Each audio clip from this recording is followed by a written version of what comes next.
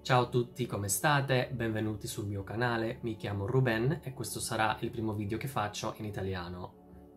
Ho deciso di creare questa serie di video in italiano per condividere con voi ehm, da una parte la mia evoluzione per quanto riguarda questa lingua e dall'altra condividere con voi le mie esperienze e parlare su cosa mi è successo con questa lingua perché c'è veramente tanto da spiegare e penso vi possa aiutare anche a voi. Sono spagnolo e come sapete a volte gli spagnoli abbiamo questa tendenza a parlare l'itagnolo oppure lo spagliano, cioè una versione che si trova tra l'italiano e lo spagnolo con le parole mescol mescolate. per questo motivo è difficilissimo per me ritrovare le parole, sicuramente mi mancheranno tante, ma devo fare questo video e devo spiegare questa situazione perché sicuramente vi è capitato. Da dove comincio? Da dove?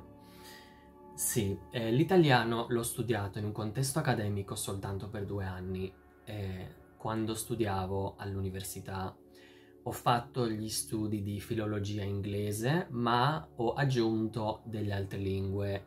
L'inglese, logicamente, era la prima lingua straniera, e poi avevo il francese, e poi ho scelto italiano e greco.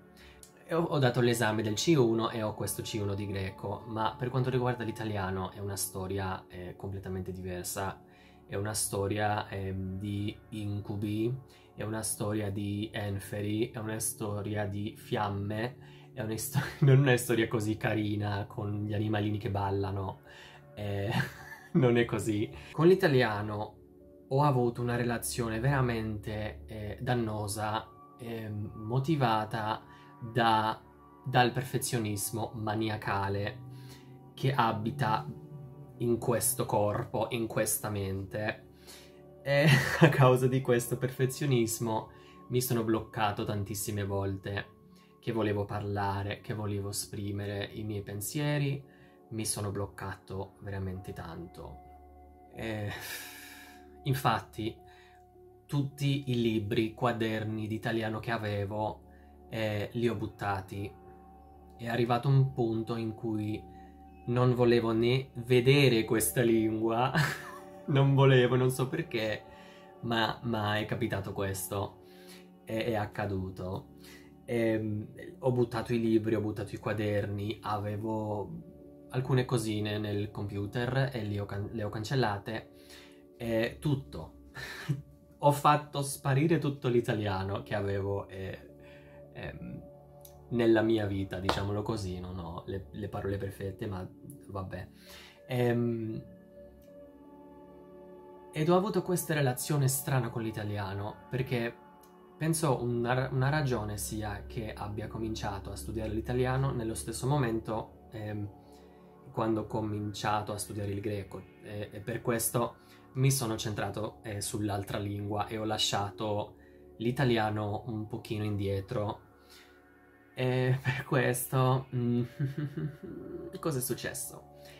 Il tempo è passato e ho vissuto con questa voce di autosabotaggio che mi diceva ogni tanto non ce la farai mai, il tuo italiano fa veramente cagare. Eh, parli un italiano di merda e non ce la farai più e non ne vale la pena, non merita l'impegno perché già parli due, tre lingue, ma a che ti serve? Era un pochino questa voce come quella ragazzina del TikTok che dice ma che tipo di senso hai con la minigonna? Ma, ma per me, ma nel mio caso era ma che tipo di senso hai con l'italiano? Ehm, se avete visto il mio video con i goals, per quest'anno, eh, cioè eh, il video degli obiettivi per quest'anno. In quel video ho detto che volevo cercare, che volevo cercare a fare delle cose diverse, delle cose che mi facevano paura, oppure mi davano paura. In spagnolo diciamo mi danno paura, ma non, non, non ricordo adesso se in italiano mi fa, fa, paura. Me lo potete dire nei, me lo potete eh, chiarire nei commenti. E ancora adesso che sono qui, sto parlando e, e non c'è nessun'altra persona qui e ho questa angoscia, ho questa paura, quest'ansia, non so come descriverla, ma ho questa sensazione di, di qualcosa di pesante che è, è qui, qui o qui, non so, ma qualcosa che veramente mi, mi limita. E, e, sono dei pensieri che non, sono dannosi, ragazzi. E, e, e, mi sono bloccato. E sapete qual è la cosa, la, la cosa più eh, ironica? Ehm, è che io sono insegnante ho in- insegno l'inglese e lo spagnolo, ho insegnato l'inglese, ho insegnato lo, lo spagnolo e ho aiutato tantissima gente ad imparare l'inglese e lo spagnolo e, e a queste persone, a queste persone gli ho dato motivazione, le ho ispirate, le ho... Eh, le ho... eh, gli ho dati dei consigli per aiutarli ma questi consigli, non, ma perché non posso utilizzare gli stessi consigli, gli stessi consigli eh, per me? Perché non posso? E quando ho pensato a questa domanda, ho cominciato a riflettere, eh, è, penso di aver detto riflettare, no, riflet, riflettere, dai, ne ho pensato tanto e mi sono reso conto che dovevo smettere di, di fare questo autosabotaggio e dovevo provarci. Dovevo provarci, fare questo video e se alla fine ho un video di M, ho un video di M e non succede niente e, posso, e ne posso fare un altro e un altro e un altro e un altro e non succede nulla. Infatti avevo fatto questo con, con le altre lingue che, ave, che imparavo, cioè avevo un canale in cui c'erano video eh, solamente in greco, avevo un canale in cui c'erano video in inglese e avevo anche un canale eh, in spagnolo e non sono là più, ma li avevo. E ho cominciato a pensare a questo e, e e ho deciso di condividerlo con voi perché sicuramente alcuni di voi avete imparate alcuna lingua e, e avete sentito questa angoscia quando cercate di praticare oppure cercate di imparare, eh, specialmente da soli. E penso ci siano tantissimi fattori, fattori aspetti eh, psicologici che meritano la nostra attenzione ehm, per esempio questa angoscia, questo stress, ehm, al di là della routine e di quante ore. Siamo persone ragazzi, siamo, siamo persone. E, e, quando impariamo una lingua cerchiamo di tradurre la, anche la nostra personalità, non sono... Non è so, soltanto un, un elenco di parole, non sono soltanto le parole, sono anche le emozioni, sono anche i nostri scherzi, i scherzi che, che diciamo nella madrelingua, per esempio, e non è, è molto difficile di fare tutto questo e può essere veramente un incubo, può essere veramente qualcosa di, di uh, sgradevole, molto sgradevole, se cerchiamo di essere perfetti. L'obiettivo è la comunicazione, non è la perfezione eh, parlo ovviamente in questo contesto, in un contesto accademico, in un contesto di prove di livello, eh, faremmo delle cose diverse. Allora, dopo questo periodo in cui non studiavo nulla, non studiavo italiano, non, non leggeva, non faceva nu nulla, ehm, è arrivato il 2022 e l'anno scorso ho deciso di ricominciare.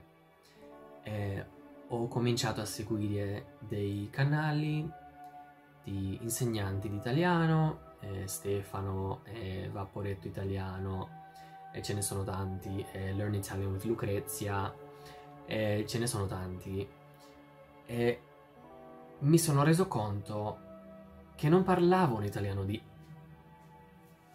YouTube no, a, YouTube, a YouTube non piacciono queste parolacce, ma ehm, mi sono reso conto, mh, mm, dai Ruben, eh, magari non, non, sia un italiano perfetto, ma mm, ci provi.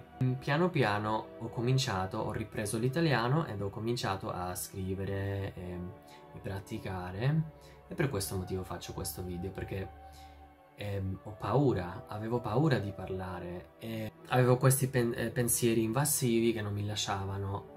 Ehm, e non so perché, perché questo è successo con l'italiano, penso sia anche successo con il francese, ma il francese merita anche un video proprio in francese. Potrei cercare di farlo, ma non so penso il mio francese adesso sia peggiore del mio italiano. Allora, dopo avervi parlato su questo tema, questa situazione, questi fattori psicologici, eh, vorrei parlare sui problemi che sto trovando, sulle mie difficoltà in questo momento con l'italiano. La prima è il congiuntivo, perché non l'ho studiato, lo ammetto. Non l'ho studiato, eh, quando ero all'università eh, ci siamo smessi, penso, nel presente di congiuntivo, eh, congiuntivo presente, e non, non, so come utilizzare le altre. Mm, mm, so, cosa, so che cosa è la concordanza dei tempi perché sono insegnante, ma mh, la concordanza in spagnolo è un po' diversa dalla concordanza in italiano, mm, quindi devo praticare questo. In secondo luogo direi la pronuncia, ma la pronuncia più specificamente è dove si mette l'accento orale. Perché sapete che in italiano c'è, un accento scritto ma non si mette in tutte le parole, non si mette su tutte le parole, e c'è un accento orale. E questo accento orale, orale non ha... Per me non è che non abbia senso, sicuramente ha, ha, ha senso, ma per me è, è un pochino difficile perché soprattutto nelle parole che si rassomigliano molto ehm, a parole spagnole. In terzo luogo uh, aggiungerei i false friends, cioè queste parole che hanno significati diversi e che sono come parole spagnole ma non, non hanno lo stesso significato, per esempio molestar e molestare in italiano. Sì, e adesso direi queste tre cose. Ehm, sto studiando, sto praticando, sto scrivendo un po' di più ehm, e sicuramente vi farò un video update con, con i quaderni eh, nel futuro nel futuro prossimo, non so, ma nel futuro vi farò un video con eh, i quaderni e, e, come li ho mm, riempiti. Questo è il video.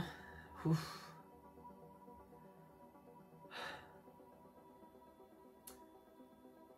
Rag ragazzi, mi, mi, viene da piangere.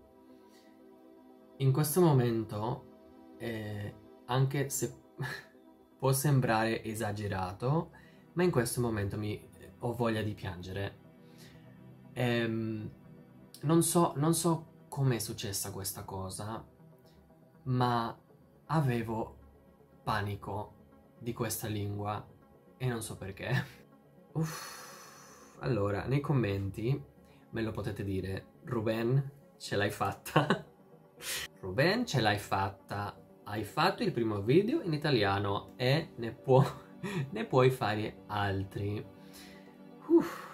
Questo è stato il mio primo video in italiano, spero vi sia piaciuto e ci vediamo nel prossimo. Grazie mille per i commenti, grazie mille per le vostre storie e grazie mille per avervi iscritto nel mio canale. Spero vi piacciono tutte le cose che sto preparando e come dicevo ci vediamo nel prossimo video. Un bacione e ciao!